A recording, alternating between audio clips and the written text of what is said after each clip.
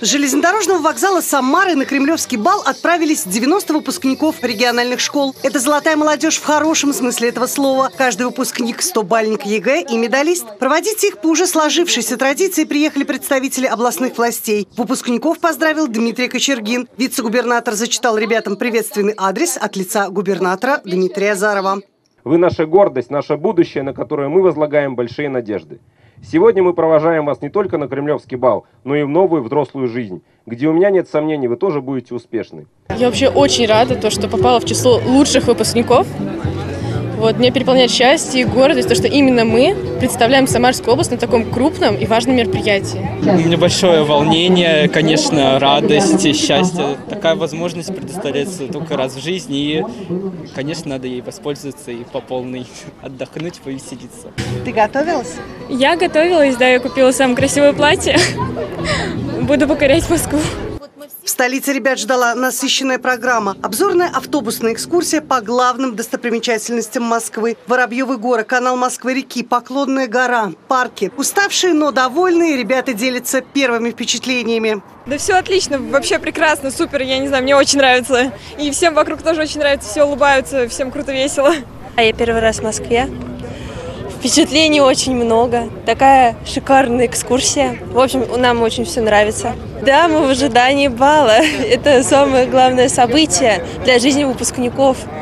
Вот. И на него многие хотели попасть. Вот, а попала я.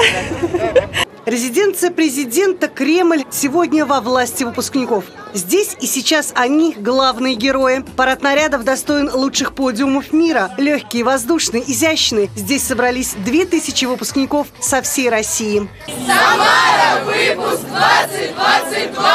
Как Самара городок, беспокойная я, беспокойная я, успокой ты меня. Начался у входа в Кремль на Сапожковой площади. Для ребят организовали концерт, а дальше под аплодисменты и вспышки фотокамер выпускники подошли к Кремлевскому дворцу и, конечно, чувствуют себя важными гостями. Я очень долго выбирала наряд, э, пособирала вещи. Перед самой поездкой у меня был такой легкий мандраж, потому что я очень волновалась, потому что, ну, это такой шанс. Я очень благодарна правительству Самарской области, депутату Александру Хинштейну за то, что он дал такую возможность самарским выпускникам сегодня побывать здесь, в Кремле. Это очень-очень ценно. Впервые в столицу на бал выпускники отправились в 2013 году по инициативе депутата Александра Хинштейна и губернатора Самарской области Дмитрия Азарова, который тогда был мэром. В Москву отправляются дети из неполных и социально незащищенных семей, а также ребята с ограниченными возможностями здоровья, достигшие высоких результатов в обучении. Поэтому акция носит в первую очередь социальный характер. Для многих ребят эта поездка в столицу стала первой в жизни. Александр Хинштейн отметил, что с каждым годом на Кремлевский бал из Самары Самарской области удается отправить все больше выпускников. Пытаюсь себя поставить на их место и вот вообразить, каково это.